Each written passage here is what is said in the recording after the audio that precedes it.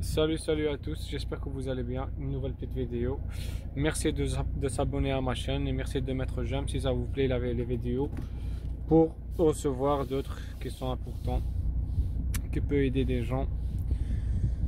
Euh, donc euh, j'avais plusieurs commentaires sur ma chaîne qui des gens qui se posent la question, ils nous disent ils, nous disent qu'on a le, chauffage qui on a le pulseur qui marche, on a le chauffage, le ventilo qui tourne mais il n'y a pas de chauffage, il n'y a que de l'air frais qui rentre. Donc ils mettent le chauffage. il y a l'air qui rentre, ils mettent rien au chaud, il y a de l'air frais qui rentre.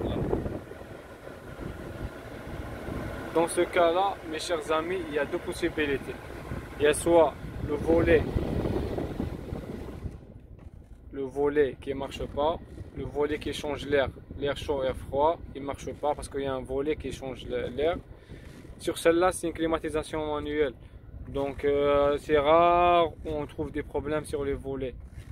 Mais sur les climatisations automatiques ou climatisations Bézon, on a, tout, on a des, volets électriques qui tombent souvent en panne. Donc là, nous, on est l'air froid, l'air frais. Quand on met l'air chaud, Là, on a l'impression qu'on a, mis, déjà l'air chaud. Mais à l'intérieur, à l'intérieur, le volet, il ne change pas de position. S'il ne change pas de position, donc on va recevoir tout le temps de l'air frais.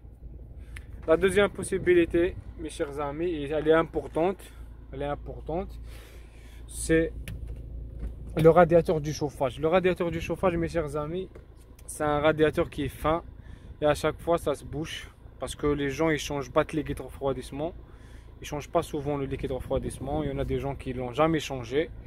Donc euh, voilà, le liquide il, fait boucher, les, conduites du liquide de, dans le radiateur de chauffage. Pour savoir si on a un radiateur bouché ou non, ce qu'il faut faire, il faut démarrer la voiture, il faut la laisser tourner, il faut la laisser monter en température de service, c'est-à-dire 90 Ensuite, ensuite mes chers amis, vous venez ici, je vais mettre le flash. Vous venez ici, là derrière, derrière le moteur, vous avez, vous avez les deux durites. Je vais essayer de passer le téléphone derrière. Voilà, ici, il y a les deux durites, une durite de l'arrivée et l'autre sur du retour.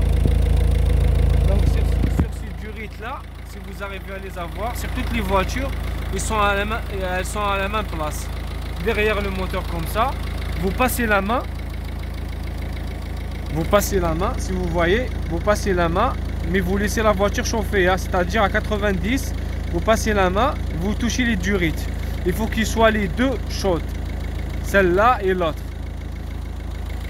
Si vous trouvez une durite chaude et une durite froide, ça veut dire que le radiateur est bouché. Je répète, si vous trouvez une durite chaude et une durite, une durite froide, c'est-à-dire le radiateur est bouché. Si vous trouvez les deux durites chaudes, c'est-à-dire que le volet est en panne. Le volet ne change pas d'air à l'intérieur. Si vous trouvez une durite chaude, une durite froide, c'est-à-dire que vous avez le radiateur est bouché.